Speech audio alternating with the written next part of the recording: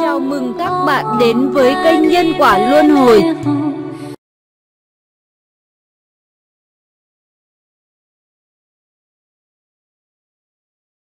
Đạo tràng của chánh Pháp trụ thế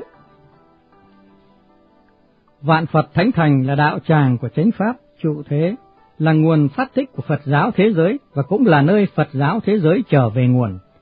Vạn vật Thánh Thành có cơ, có sở, thì thiên ma ngoại đạo phải bàng hoàng hãi sợ, đến độ dựng đứng lông tóc. Bàng môn tả đạo cũng sẽ khẩn trương, chúng run sợ, ngủ không an giấc, ăn không biết mùi vị, nên chúng phải nghĩ hết mưu kế, tìm mọi biện thánh thành, sao cho vạn Phật thánh thành bị thất bại, đi đến chỗ tiêu vong, không tồn tại được. Chúng nghĩ như thế có khác gì kẻ si nói trong mơ, một chuyện không thể nào làm được. Vạn Phật Thánh Thành là một đạo tràng được mười phương chư Phật hộ trì, đó là từ đất vọt lên, hiện thành tháp bảo vương, cho nên vạn Phật Thánh Thành kiên cố như kim cương, không ai có thể phá nổi, không ai tiêu diệt nổi. Nói cách khác, vạn Phật Thánh Thành chính là một đài ánh sáng, đăng đài chiếu ánh sáng thanh tịnh vào những nơi u tối trong tâm của chúng sinh, dẫn dắt chúng sinh trên con đường giác ngộ Bồ đề. Hễ người nào trú tại vạn Phật Thánh Thành là đều có sẵn thiện căn lớn, có đức hạnh lớn, nếu không vậy họ đã không tới nơi đây. Những người có đức hạnh đến vạn Phật Thánh Thành cũng giống như đi vào tòa Bảo Sơn, gặt hái được những của quý vô giá, minh tâm kiến tánh. Người không có đức hạnh đến đây thì chẳng khác gì ngồi trên thảm đinh không cảm thấy an ổn. Trên quả đất này, vạn Phật Thánh Thành là đạo tràng khởi thủy việc hoàng dương chính pháp. Cho nên, đối với các chúng chú ở đây, mỗi hành vi, mỗi cử động, mỗi lời nói đều giữ đúng quy củ của Phật chế ra. Chỉ có trong con mắt của bọn yêu ma quỷ quái thì chúng mới thấy khác, mà cho là sai quấy.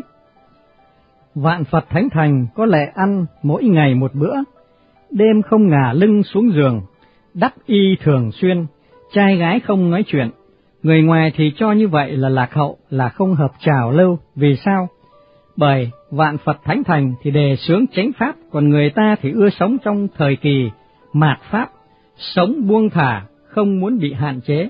Bởi vậy, vạn Phật Thánh Thành có làm ra chuyện gì, có hành động gì thì bị coi như là sai quấy, và họ phải tận lực công kích, phá hoại và tiêu diệt.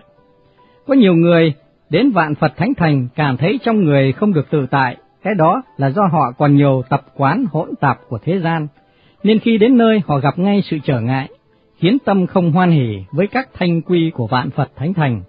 Họ thấy các vị xuất gia khổ tu thì cho rằng như vậy là trái với tự nhiên, họ không hiểu rằng chịu khổ thì hết khổ, hưởng phước thì hết phước.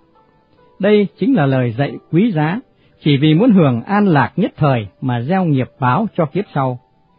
Vạn Phật Thánh Thành không a dua theo các tệ đoan, người của Vạn Phật Thánh Thành cũng vậy, tất cả đều phát tâm Bồ đề, nỗ lực dụng công tu đạo, cho nên ở đây khi có thất địa tạng hoặc thất quán âm, hoặc Phật thất hay thiền thất, bất kể lúc nào, mọi người đều dáng chịu cực khổ, không lúc nào nghỉ ngơi, muốn xuất gia tu đạo lại không muốn chịu khổ, lại muốn được an vui, muốn hưởng thụ, rồi muốn khai ngộ, muốn thành Phật, thì thật chưa có cái đạo lý nào như vậy.